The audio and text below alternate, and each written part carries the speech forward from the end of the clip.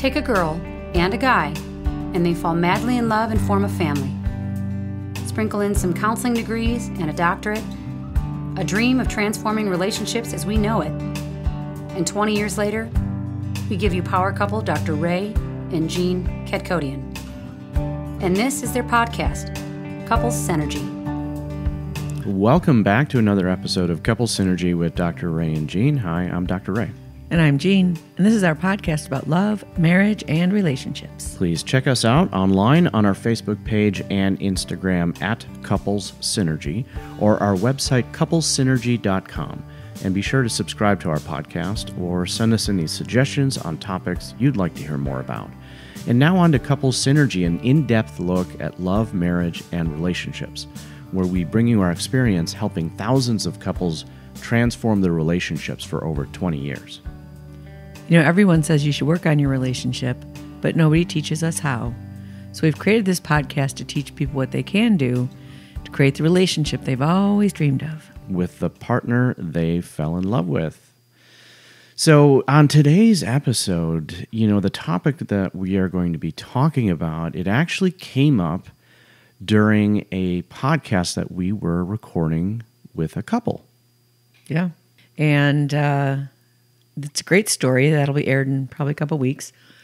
But he asked us, you know, tell us about this weekend intensive and is it something you would do if you're a healthy couple? Right. Right, because he had he was under the impression that only couples that are having problems in their relationship should work on it or should seek out our services. Right. And you know, we hear that.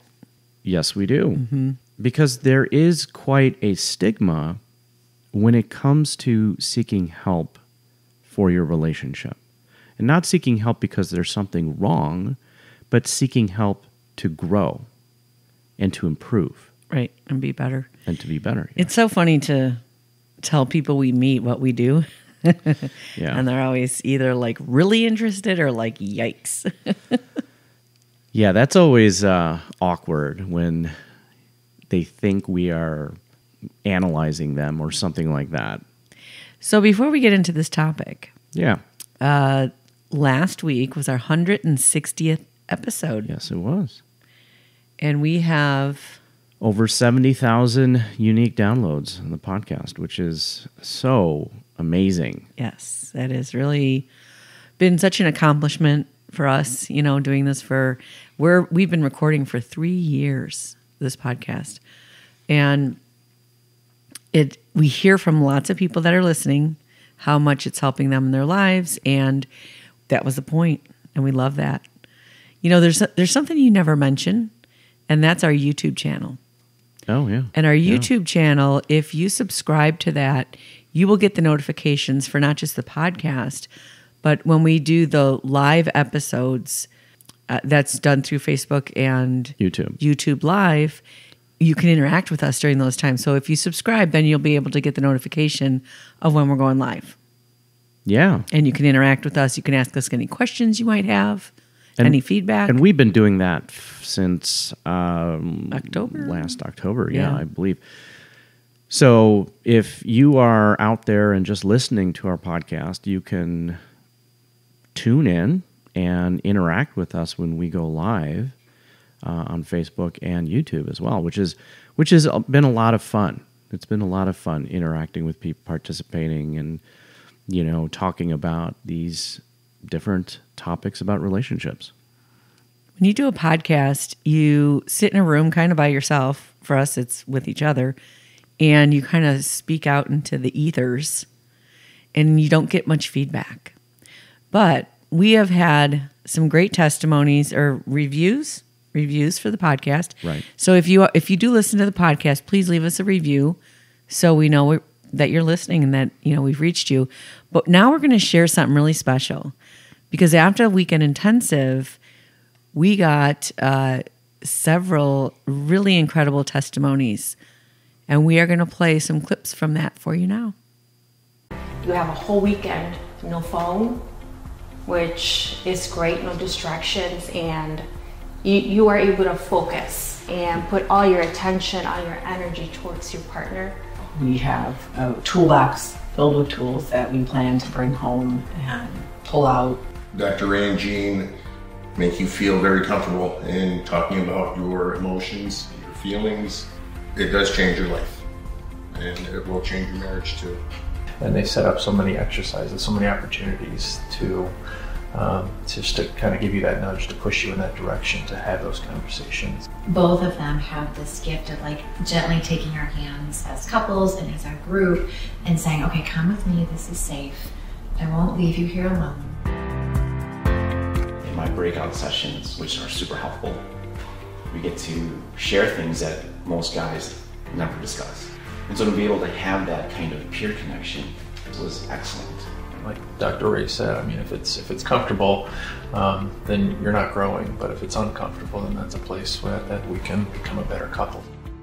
If it does feel scary to come to a weekend intensive, it's supposed to, right? It's part of it. It's part of growth, and it's part of developing something new in your yourself and in your relationship together.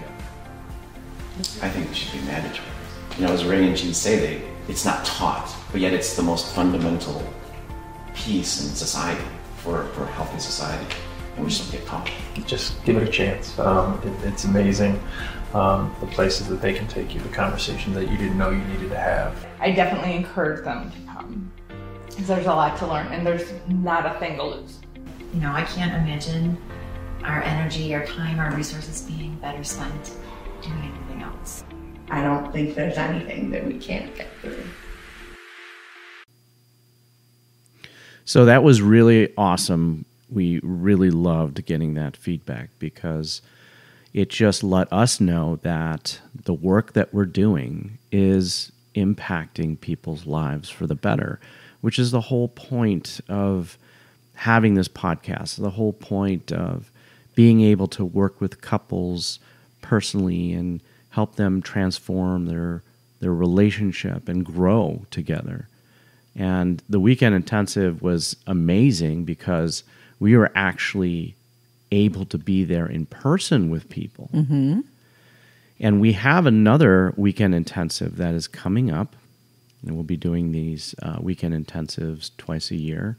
Uh, the next one is September 9th through the 12th we're, instead of the, the registration that was done before, what we're doing is a uh, is a screening meeting, Mhm. and that would be set up with the two of us Mhm. personally, and we would be able to answer any questions that you you have and make sure that the weekend intensive program is a good fit for you and your relationship.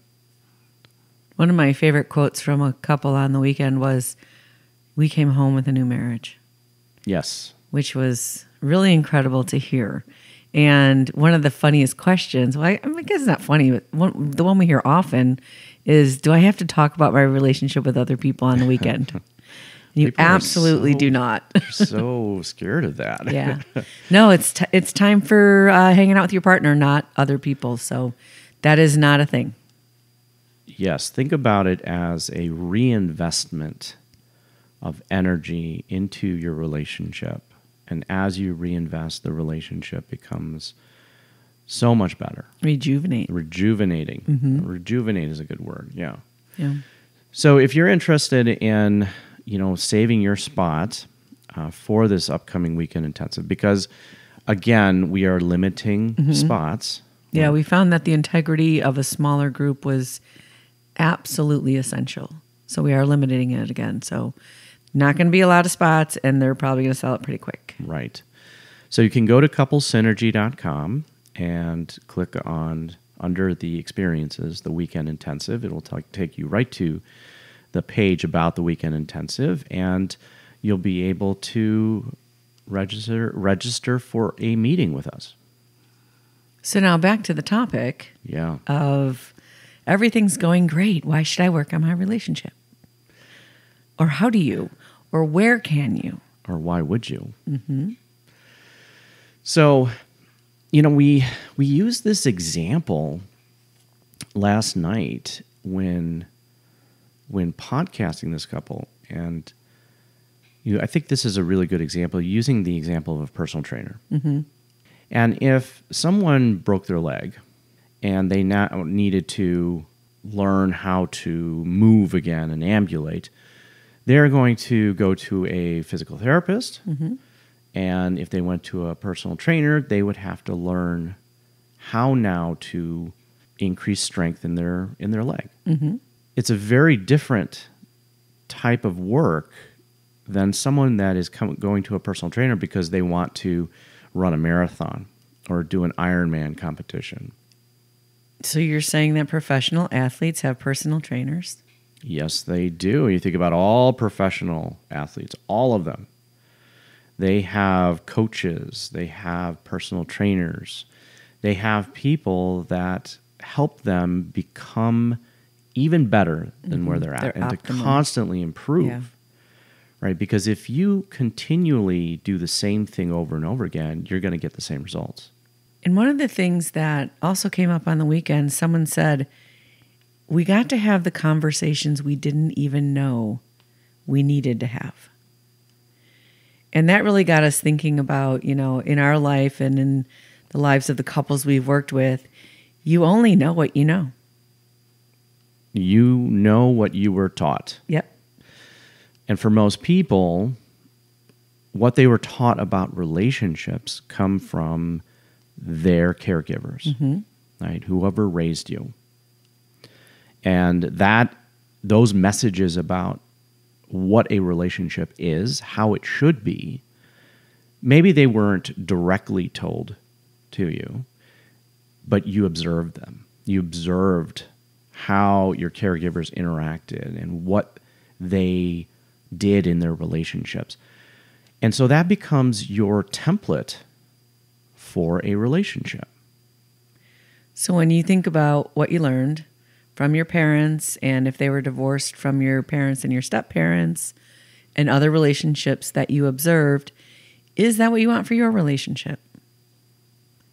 And if it is, are you having that relationship? Because it's a whole different thing to learn one template as a child and meet another person that learned a different template and then try to merge together because ultimately what you're doing is you're creating what we call the couple personality. And that's the synergy, right? The synergy is these two parts are coming together to create a new thing. A new thing that is greater than the sum Mm-hmm. of those parts. Or it can be worse than if it pulls each other in the wrong direction. You could pretty much uh, count on your partner coming into the relationship with a completely different template than yours. For sure. I mean, even if you have the same demographics, you still are going to be brought up very differently than your partner. And so when couples are coming together, it's not a his way or her way, it's an our way. And that is that takes a lot of time and energy and effort. We always talk about that in terms of like ballroom dancing or figure skating pairs. You know, each person is a great figure skater or each person can be a great dancer, but when they come together, they still have to learn those subtle things, the nuances, the the little differences. Even in like if you think about that example of dancing or figure skating, there's going to be a different body. It could be a different height or a different length or some, you know, there's just something you have to adjust to. And those are the kind of things that is the work. Is how do you get really good at moving through this world in a way that is safe and compassionate and healing and absolutely beautiful to share your life with someone who wants to share their life with you. And when you talk about moving through this world with your partner, it is a moving target. It's constantly evolving. And if you are not working on your relationship with your partner over time, then the relationship is bound to deteriorate. It just is going to happen. Because if you are not growing, then you are dying. Right. And, if something happens in life, which of course it does, you have to pivot. You have to pivot when you have a baby, when they leave the house, when you change jobs, if you move, if someone gets sick, if someone experiences a loss. life will continue to happen. It'll continue to put things in your path that are there for your deeper knowledge and understanding of yourself and how you support and relate to your partner. So when we get back to this this topic of the relationship template, we had this discussion with that couple, and you know they came from two households that were not very successful in having Well, they were healthy both relationships. divorced. Two divorced households. Right. They mm-hmm. grew up in, and it, it was a it was a very interesting conversation because they ultimately said that they learned what not to do, Mm-hmm. but they didn't learn what to do. Right. And as young people, they were in their early 20s when they decided to get married, and they sat down and they really, really, really talked it out, which you don't hear of that much. No. We didn't do that. No, I mean we had some conversations, you know, about Mhm. kids and you know what we were going to do in our relationship moving forward, but Yeah, I guess we did do that, but we just didn't do it as formally, I guess, as they did. right. Yeah. And a lot of couples are not having those kind of conversations. No, most couples they are sliding into these relationship decisions and not really planning Mhm. their vision and planning their future course. We're talking about the vulnerabilities or the fears or the non negotiables and setting up, you know, what's appropriate rules for us because every relationship is different. Right. I mean, you could move forward and just copy what your parents did. Mhm. And if your partner is okay with that, compliant with that, then you will just be duplicating your parents' life. And that may be okay for your relationship. If both you and your partner are okay with that, maybe they came from a, a household that, that didn't have very healthy uh, boundaries. And so, you know, they are okay with kind of merging with what you were taught, and that's okay. Well, if you think about even like the youngest person that would be getting married today is probably 18, 20 years old. I mean, there wasn't really even, well, there wasn't social media yet. There wasn't, there was a lot Thank of things that, that their parents, if their parents were whatever age they were when they were raising them, would not have had to deal with that we have in this world we live in now. Right. So there wasn't the social media, there wasn't um, immediate access to everything all the time. I think cell phones were fairly new in the early 2000s. And so there's so many things that have changed so rapidly. Yes, including relationships as we Mhm. know it. Relationships now, a relationship with a committed partner, are much more difficult than they ever have been because there are so many more factors that are involved. You just mentioned social media. Social media gives you a lot of information, not necessarily the right information, but you're bombarded all the time by what people are saying is correct. And so if you grew up without a template, or the template that you were exposed to is not a healthy one, and now you're trying to create a healthy template for yourself in your relationship, there's so much out there that you could just be exposed to that might be taking you in a wrong direction in your relationship. I'm listening to you talk and I'm thinking all of this stuff is unconscious. I mean, you don't sit here and think, I was taught a specific way how to be in the world. You just experience the world. And, you know, if you're listening to this, can you even come up with what you think your template is, what you really learned? What were those messages and lessons? And maybe even like the parents didn't even fight in front of you so you don't even know what that looks like or they weren't affectionate in front of you or lots of things that you weren't even privileged to and you would just get maybe a feeling that there's a problem or a feeling that your parents are giggling on the couch or whatever it is but you don't really know And it's sort of all this unknown stuff. And as we mature through life, those are the things that we get to contemplate more and more. And we finally get to feel our own feelings and start to say, is that what I want? Does that work for me? Well, I, I think we we should contemplate those things and how we were raised and what messages about relationships we were exposed to, whether directly or indirectly. But most people, I would say most people, it's in the past. And so they don't really think about it. They don't really take time to ponder about was this message okay that I was given? And am I replicating the same message now? And what do I want to, you know, resonate with? Yeah, just think about when you go and you want to get information from a financial planner or a new accountant or a different doctor. They're going to go through all these assessments and they're looking for, well, where are you?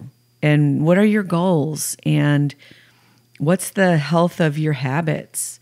And all those kind of things. And they're going to ask you questions you didn't even know that you should be considering because they're experts at what they do. Right. And working on your relationship is the same way.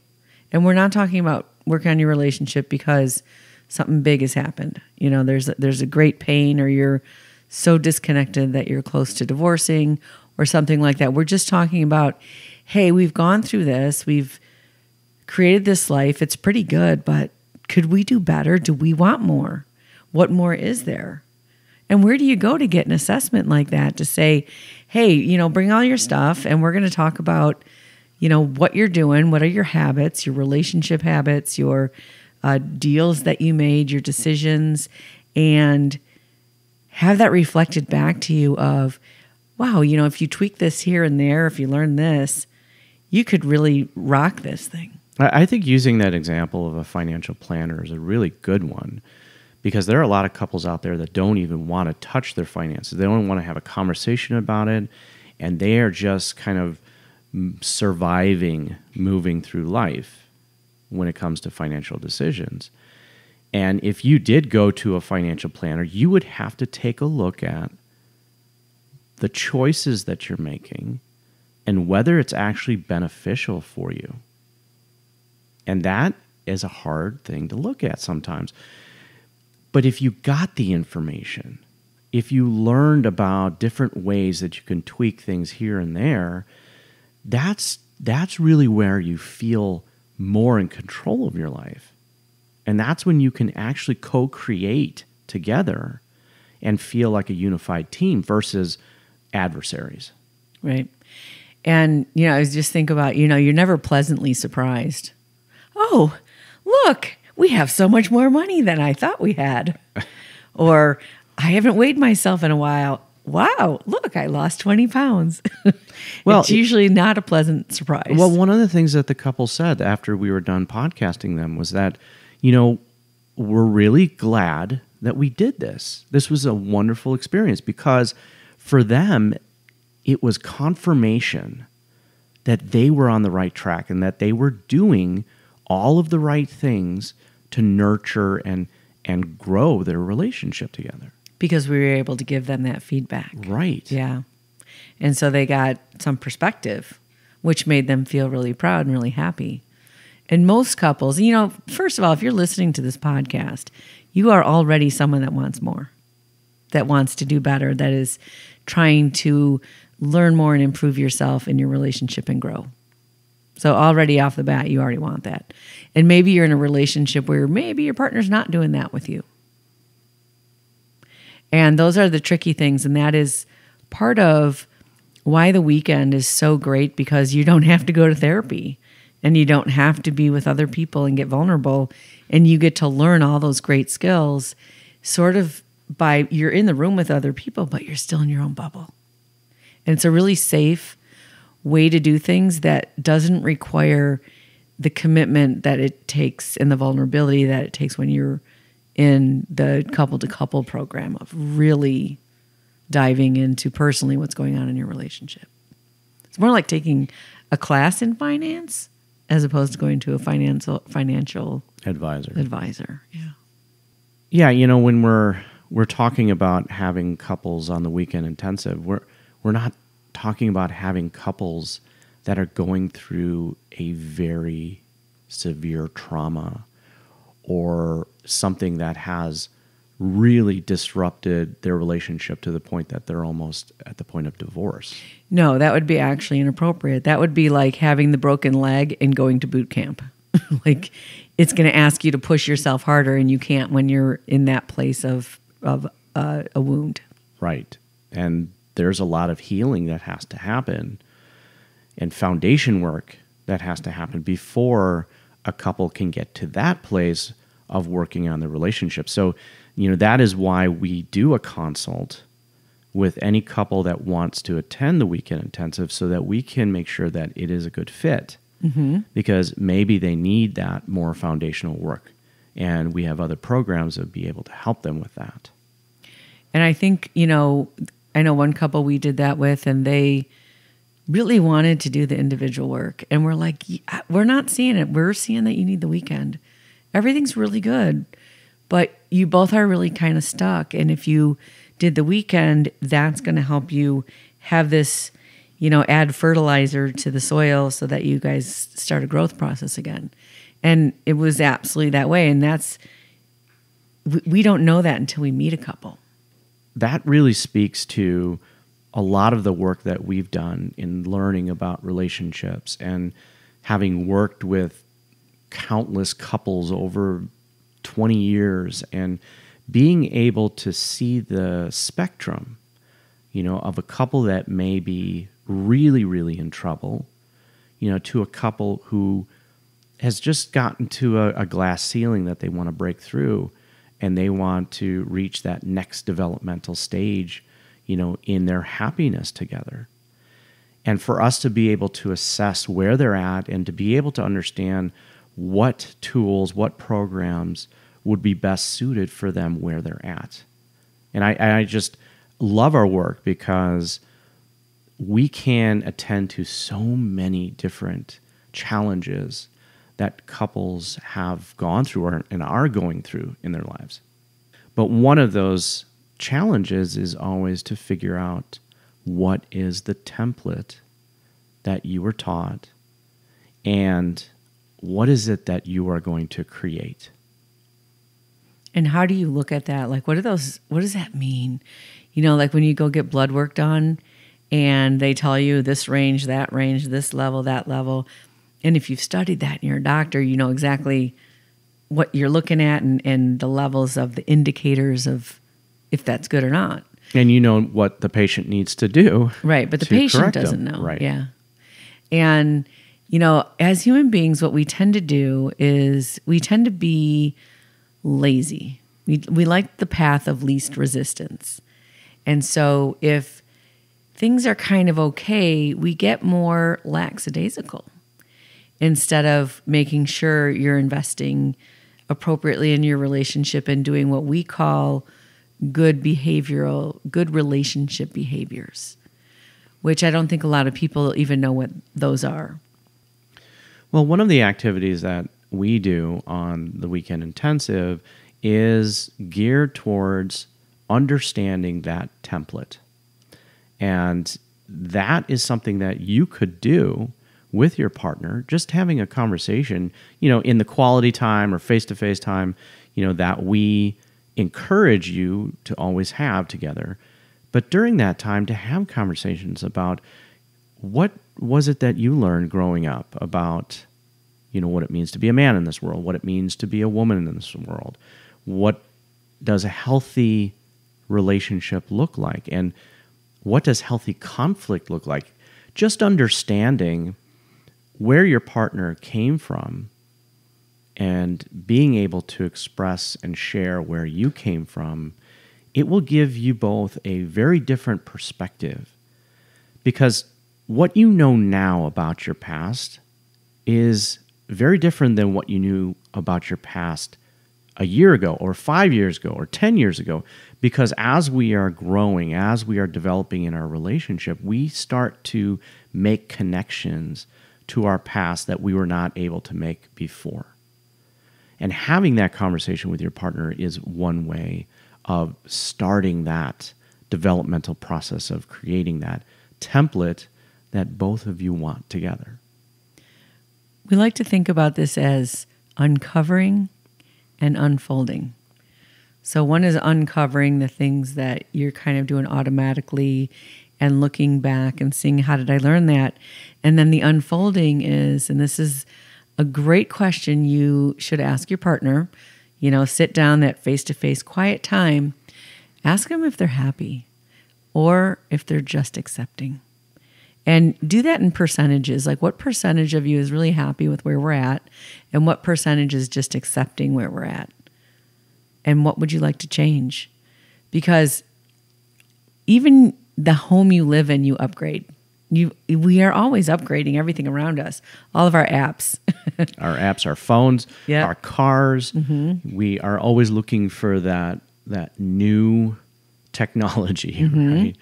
The next thing, you know. Faster, stronger, better. Right, but even in using the example of of maintaining your house, you you have to attend to your house. You have to maintain it. You have to upgrade it. Otherwise, it just it falls apart. It goes into you know disrepair. Yeah. Because this place is a place that we're not going to survive. And so it takes more effort to be alive than to let go and start to die. And that's just that's just how it is. That's just life. You know, you have to move your body to keep it healthy. You have to eat, you have to you have to do stuff. If you do nothing, you're going to die. Right, and that goes for even healthy people. 100%. Healthy yeah. people, All bodies. healthy couples, healthy relationships still have to change, improve, grow. And that is the crux of being in a living relationship, you know, commitment to a partner, and you are growing together through life. So if you're listening to this with your partner or if you're listening to this by yourself, have that conversation.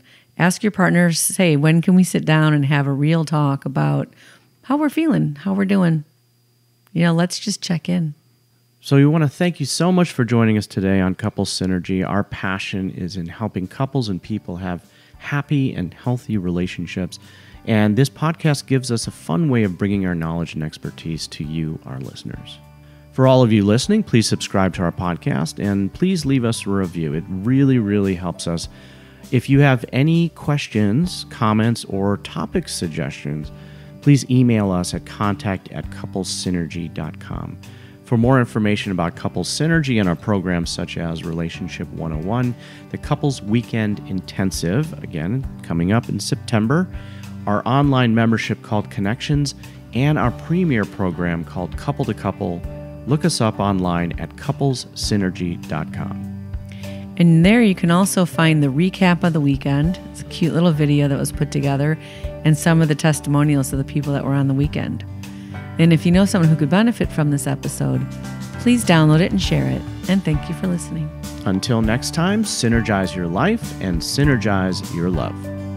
You have been listening to Couple Synergy with Dr. Ray and Jean Kadkhodaian. Couple Synergy was recorded, edited, and produced by Dr. Ray and Jean Kadkhodaian. Voiceover and music entitled Breathe and Let Go was recorded and composed by Gina Gonzalez.